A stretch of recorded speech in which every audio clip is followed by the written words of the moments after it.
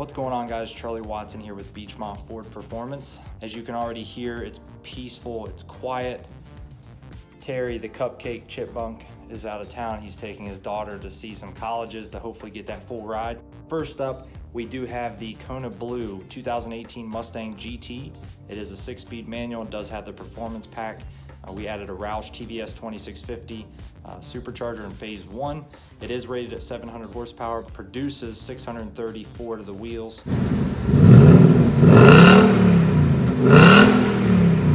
Next up, we did a real quick modification for a gentleman that just bought a new Mustang GT from us.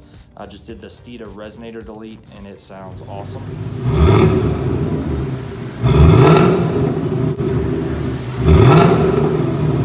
Lastly, Mr. John Little, uh, he actually texted uh, about 10 minutes ago asking for a video uh, of his car complete. It is beautiful and it is awesome. John's car is tastefully upgraded. It's magnetic metallic, of course S550. It does have upgraded wheels and tires and it's running a Roush axle back exhaust with a resonator delete and it sounds pretty aggressive.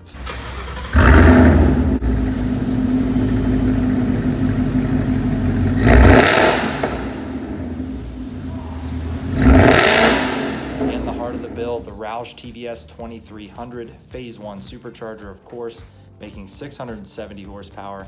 And we also got John the three-year, 36,000 mile powertrain warranty from Roush, so he's fully protected and making great power. Another unique thing about this deal is we actually traded his truck for the supercharger. Uh, so it just goes to show you we'll be as creative as we need to be to put a deal together for you on a custom build that we do here on a new Mustang, or if you wanna upgrade your Mustang, we are here to help. As always, guys, thank you so much for watching. And remember, you imagine, we build.